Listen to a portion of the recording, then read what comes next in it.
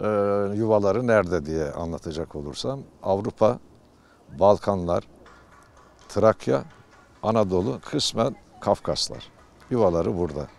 Dünyanın başka bir yerinde yoklar. Ee, yavrularını yaklaşık 4 ay boyunca yetiştirdiler. Yavrular eğitimlerini tamamladılar. Ee, beslenme alışkanlıklarını öğrendiler. Uçma yetilerini geliştirdiler.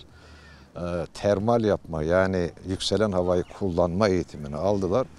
Yola çıktılar Afrika'ya gidecekler. Ee, Bugün burada gördüklerimiz ya da görebildiklerimiz e, bu senenin yavruları. Onlar önceden göç ederler. Diğer anne babalar yavru yetiştirirken tıpkı bizler gibi oldukça zayıf düştükleri için e, beslenmek anlamında bir ay daha e, kendi coğrafyalarında beslenirler. Ondan sonra yola çıkarlar. Dünya kurulalı beri İstanbul insanların nasıl insanlık tarihinde önemi varsa ilgi görüyorsa kuşlar için milyonlarca senedir aynı ilgiyi görüyor. İstanbul Boğazı nedeniyle en dar geçit orasıdır. Avrupa'dan yola çıkanlar Balkanlardan bize işte İğneada, Enez arasından Bulgar Yunan tutumundan girerler.